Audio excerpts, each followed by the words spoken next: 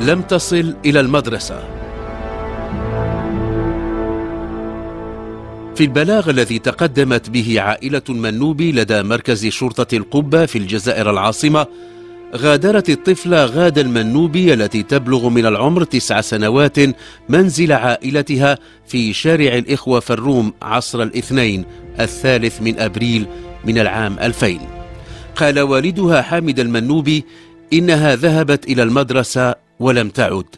أضاف أن إدارة المدرسة سجلتها في قائمة المتغيبين بما يفهم منه أنها لم تبلغ وجهتها. جو من الحزن خيم على منزل عائلة المنوبي ذاك المساء. كانت أم الطفلة مريم منهارة. لم يكن فيما أفاد به والد الطفلة ما يتيح توجيه تحريات وجهة معلومة. ليس لأسرة المنوب عداوة مع أي كان. الأب الذي يعمل موظفا في البريد رجل يشهد له جيرانه بالاستقامة وبحرصه الشديد على الاهتمام بشؤون أسرته المتكونة فضلا عن غادة من ولده حاتم ذي الست سنوات وزوجته. مرت ثلاثة أيام على اختفاء غادة لما نشر في صفحة داخلية لصحيفة محلية إعلان عن اختفائها. تضمن الإعلان صورة للطفلة وفي بضعة أسطر معلومات حول ما كانت ترتديه وبعض من أوصاف. في أسفل المؤطر رقم هاتفي يرجى الاتصال به في حال التوفر على معلومات تمكن من استعادة الطفلة المفقودة. تأمل أسرة المنوب أن تأتيها أنباء سارة وأن يرن هاتفها حاملا بشارة. لا أحد يريد أن يتصور خلاف ذلك.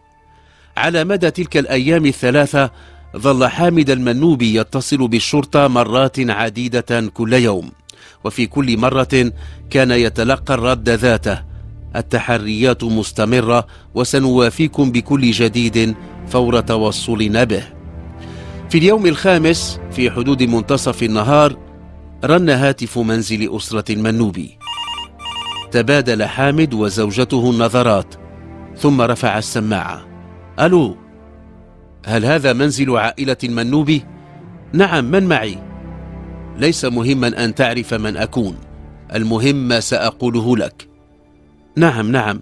قالها بتلهف فهمت مريم زوجته أن المتصل شخص لديه معلومات حول غادة.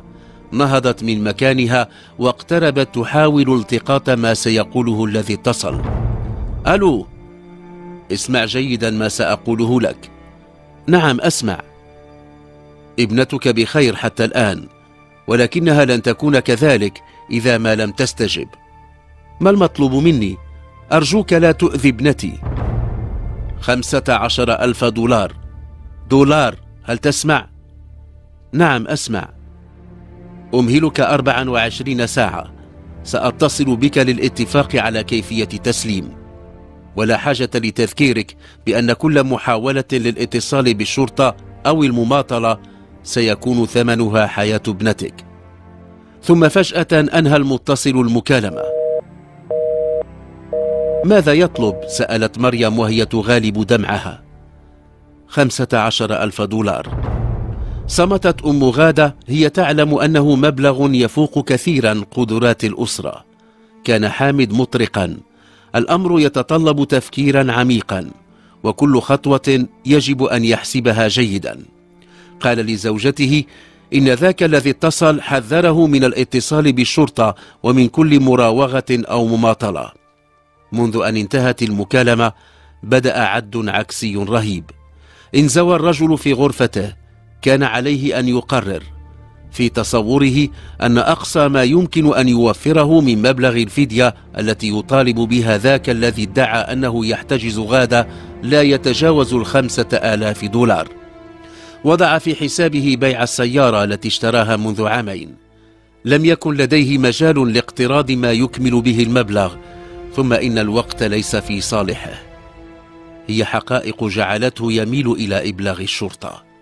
خشي أن يكون الذي اتصل يراقبه ولذلك طلب من زوجته أن تمضي إلى المقر المركزي للشرطة وتتصل بالضابط الذي يشرف على التحريات وحتى يجنبها كل نسيان كتب رسالة وجهها إلى ذلك الضابط وضمنها كل ما دار بينه وذاك الشخص الذي قال إنه يحتجز غادة وإنه سيخلي سبيلها إن توصل بالفدية وسيقتلها إذا ما لمس أدنى محاولة لإبلاغ الشرطة. ينتظر حامد مكالمة جديدة منها صبح الغد. لما عادت زوجته من مركز الشرطة جاءت تحمل رسالة من بضع كلمات من ذلك الضابط. كان يطلب منه أن يلتقي في مقهى حدده في بير مراد الرايس فهم حامد أن الضابط ما اختار ذاك المقهى موعدا للقاء إلا من باب الحرص على سريته. ترك حامد سيارته مركونة بجوار منزله. غير ملابسه واعتمر طربوشا ومضى إلى الموعد الذي حدده الضابط في السابعة مساء. وصل خمس دقائق قبل الموعد. جال بنظره على وجوه الزبائن. لم يكن بينهم الضابط. هو يعرفه إذ كان من استقبله يوم أبلغ عن اختفاء ابنته. أخذ مكانه عند طاولة في التلفزيون برنامج وثائقي حول عالم الحيوانات. شدت انتباهه لقطات أخذت في مناظر طبيعية أعجبته ثم فاجأه صوت يلقي بالتحية. لم يكن سوى ضابط الشرطة منصور الرابح. وقف وصافحه بحرارة. مضت الكلمات الأولى للضابط إلى عموميات. كان من حين إلى آخر يجول ببصره في القاعة ولما بدا وقد اطمأن أن لا أحد يراقبهما طلب من حامد أن يحكي له بتفصيل ما دار بينه وذاك الذي ادعى أنه يحتجز غادة. حكى له وتوقف عند عجزه عن توفير المبلغ الذي يطلبه الخاطف خمسة عشر ألف دولار. قال الضابط إن قيام الخاطف بالاتصال مما يجعل للتحريات وجهة. طلب منه أن يحاول حين يتصل به من جديد أن يجعل المكالمة تطول قدر الإمكان فقد تستطيع مصالح الأمن تحديد مكانه. يعلم حامد أن تنفيذ ما يطلبه منه الضابط هو الباب الوحيد المتاح لإنقاذ غادة. صباح اليوم التالي في حدود منتصف النهار رن هاتف منزل المنوبي رفع حامد السماعة ألو تعلم أن المهلة انتهت. نعم نعم. هل أنت جاهز للتسليم والاستلام؟ أتبع كلماته تلك ضحكة تنم عن خبث صاحبها. نعم ولكنني قبل التسليم أود سماع صوت ابنتي حتى أطمئن. تريد سماع صوتها؟ سأسمعك صوتها. ثم انقطع الاتصال. وضع حامد السماعة أحس بنبض قلبه يتسارع. مرت عدة دقائق لما رن الهاتف من جديد. قلت تريد سماع صوت ابنتك. نعم. جاءه صوت طفلة يقول بابا بابا. ثم عاد صوت الخاطف.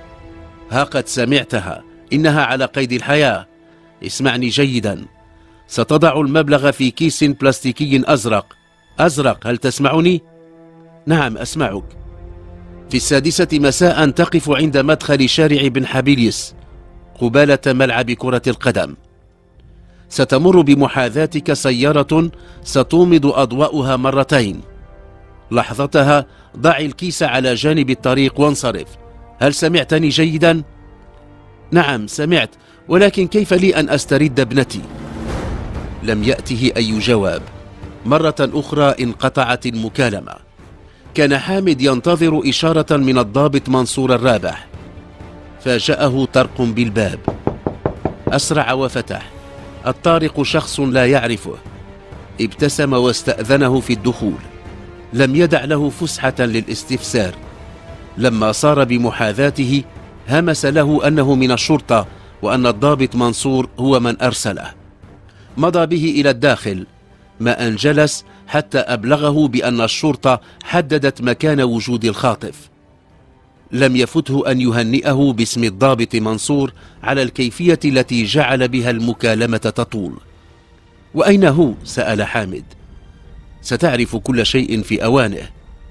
اذهب إلى الموعد الذي حدده لك الخاطف. لا تخف سيكون رجال الشرطة هناك يراقبون. ضحك ثم أضاف ليس لديك ما تخسره. أليست زائفة كل تلك الرزم من الأوراق النقدية؟ حمل حامد الكيس البلاستيكي الأزرق ركب سيارة أجرة حتى باب ملعب كرة القدم ثم عبر إلى مدخل شارع بن حابليس علي ووقف. نظر إلى ساعته اليدوية بعد عشر دقائق ستكون السادسة. محطة الحافلات بن عمر ليست بعيدة. أحس ببرد يسري في جسمه. ثم رأى سيارة بيضاء تمر أمامه. أومضت أضواؤها مرتين. واصلت طريقها. وضع الكيس الأزرق على الرصيف وعبر من جديد إلى باب الملعب.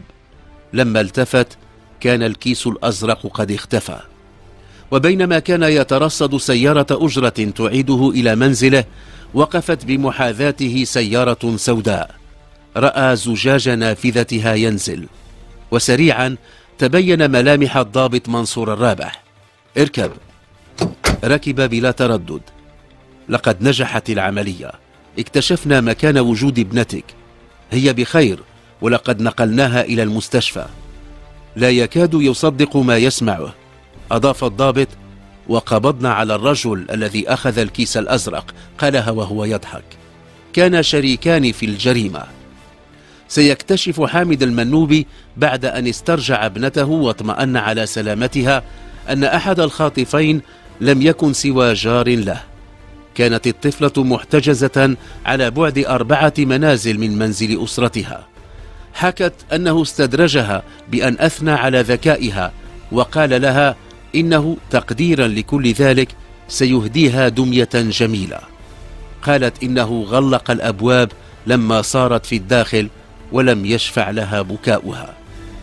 يوم مثل المتهمان أمام المحكمة كان حامد المنوب وزوجته حاضرين.